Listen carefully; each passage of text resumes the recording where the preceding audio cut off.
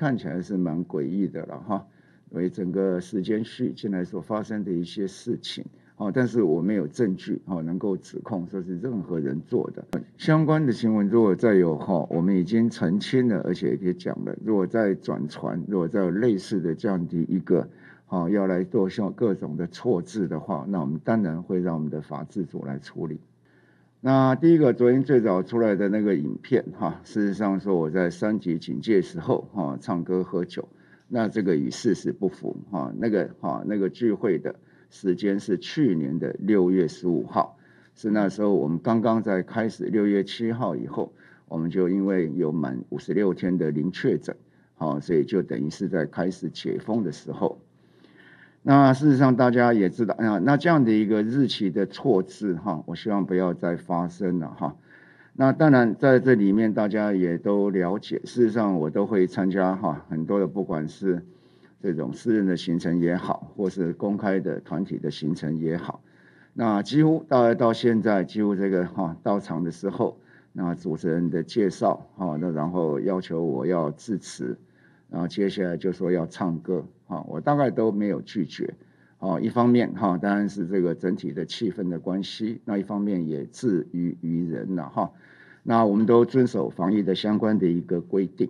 好，所以这里面我特别跟他报告哈，就是说有关于传播的这些的一些相关的这些讯息，尤其是把日期错字，好，那这是已经是假新闻了哈，那。我要提醒在场的人要特别的注意。有网友只是说，这个唱歌饮酒的地点是招待所吗？甚至有人点名说是在万华的酒家。就影片当中，外界有一些质疑说，在唱歌饮酒的时候，跟人跟人之间有保持适当的防疫距离吗？第一个那个场合，事实上去的时候，哦，除了这邀约我的朋友之外，哦，我其他的人事实上都是第一次见面。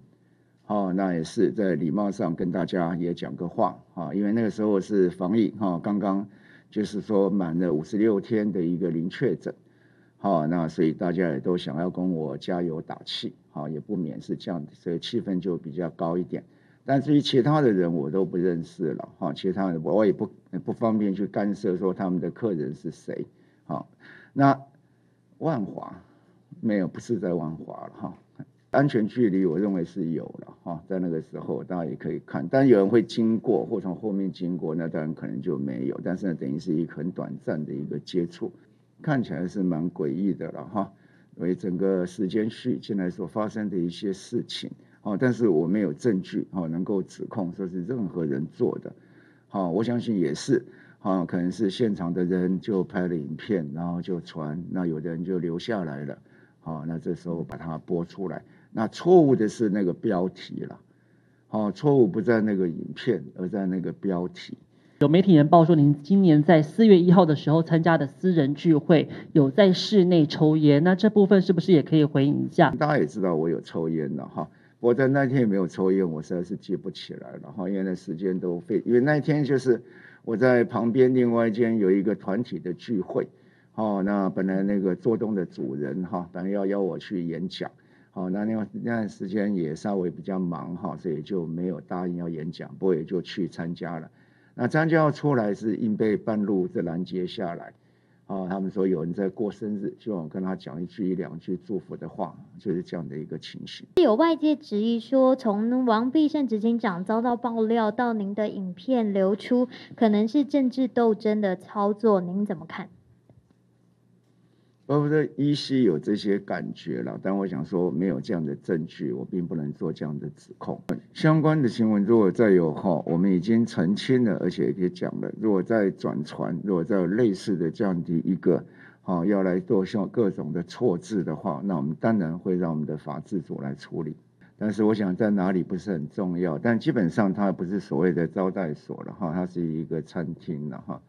那第二个就是有关于，就是说抽烟的这个坏习惯哈，那确实是应该要改了哈，不过也改很久都改不掉。那他们是一个例会哈，那但是因为是一个朋友带我去，他只是说啊，他们有一个例会哈，然后这些朋友都想跟我加油打气，也跟我认识一下，好，那我就抽了空就去了一下。